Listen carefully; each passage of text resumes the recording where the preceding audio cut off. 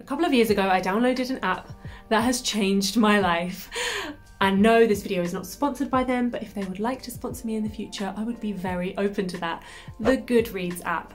If you don't have it in your life, you need it in your life, especially if you are someone who likes to read. So I made a, couple, a conscious decision a couple of years ago that Life's too short to read crappy books. There are so many phenomenal books out there. Any topic you could think of, there are leaders and experts who have downloaded all of their knowledge and skills from their brain onto paper that you can then upload into your brain. It's like having a conversation with the world's best and even to be able to go back in history and have conversations with people from the past through books. So I'm going to be talking today about five books that have changed my life.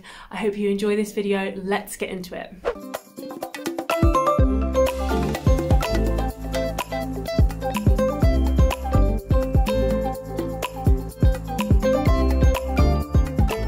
If we haven't met before, I'm Dr. Sarah Nicholls. I'm a medical doctor and a YouTuber, and I make videos that show you you can live a life filled with purpose, joy, and meaning. So Book number one is actually not a book, it's an audible download.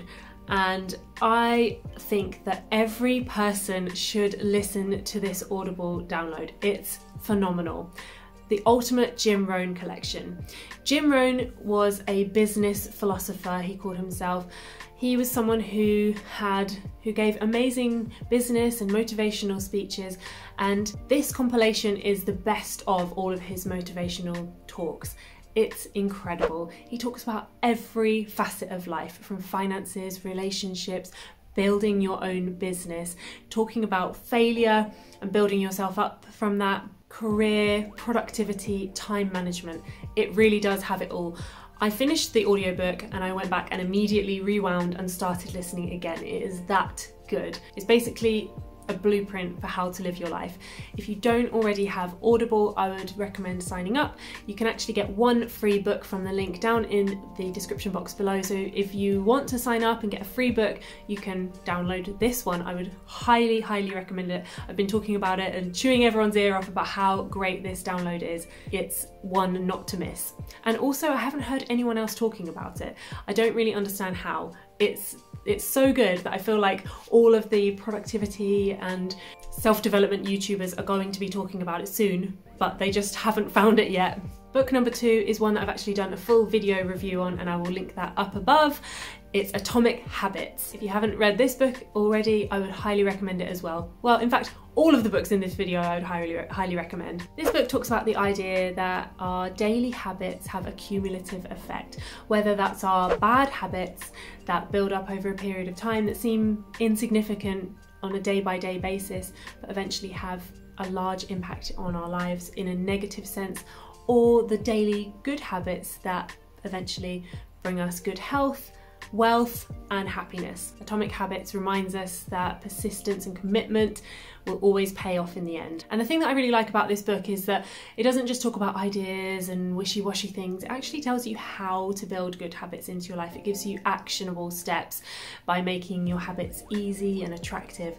Um, yeah, if you haven't read this one, I would highly recommend it. I'm going to actually go back and reread it. It's got so many actionable nuggets in that I think are very, very valuable. Okay, this third book feel like it's a controversial one and I have to put a lot of caveats in before even talking about it. It's Men are from Mars, Women are from Venus. Now, this book, I think if you're going to read it, you have to accept that it is a bit of a relic from the past. It was written in the early 90s, and I think you have to take it take it with a little pinch of salt.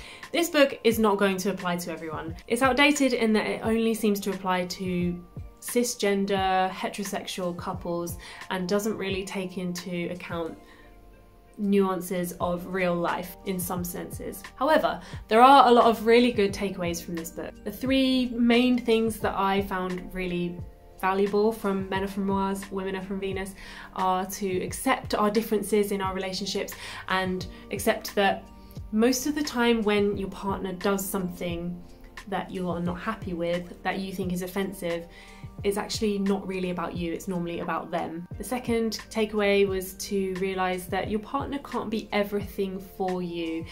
They can't be your best friend, your lover, your counselor. There's a lot of pressure to put on one individual and one relationship. And often that is why relationships break down because we have ignored the need for all of those other relationships in our lives and that we need to work on ourselves as well as working on relationships with other people. And thirdly, it stresses the importance of love and kindness and being generous with your partner. So if you are going to read this book, I would say that yes, it's got some valuable points but I would take it with a pinch of salt.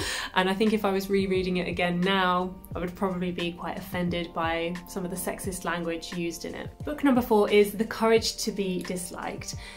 This is a book that is really helpful if you feel you need a boost in your confidence. I'm someone who can be quite introverted, I'm quite a sensitive person, and sometimes I find that I take things to heart and I can worry about what other people think of me or the things that I've said or done. The premise of this book is Adlerian psychology, and it talks about how we actually make life more complicated than it really needs to be. The main themes that I took away from it are that we are all equals and that we all have things to contribute to the world through our work and to become self reliant. Uh, there's a concept that they talk about in the book, which is separation of tasks.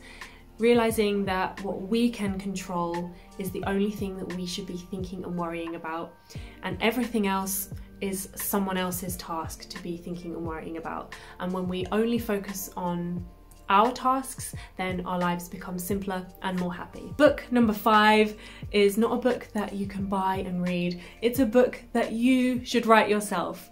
It's a joy journal or a happy book. This is something that I've been doing for, I don't know, probably a decade or more. My mum bought us all these books for Christmas one year and said that they were our happy books and that we should write down our best moment from each day. Times that we're really laughing out loud, things that have really made us feel good, nice things that we've noticed.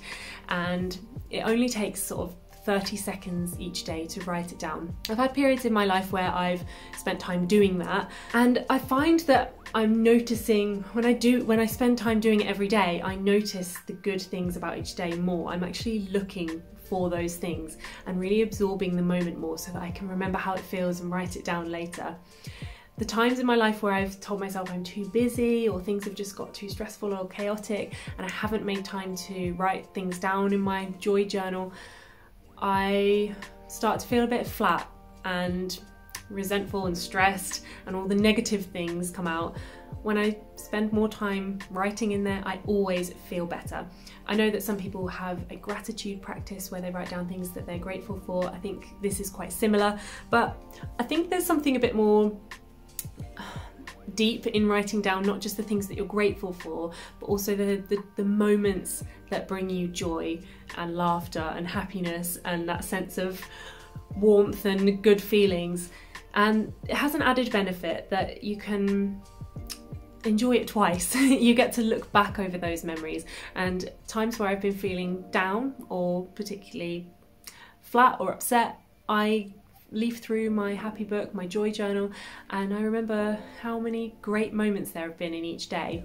As you know, I recently lost my dog and it's been a real joy to look back through all the happy memories that I've written down about her and I feel like they have not just been immortalised in photograph and video form but I've actually written them down on the days where I have felt so happy to be around her um, and those moments that I've spent with her.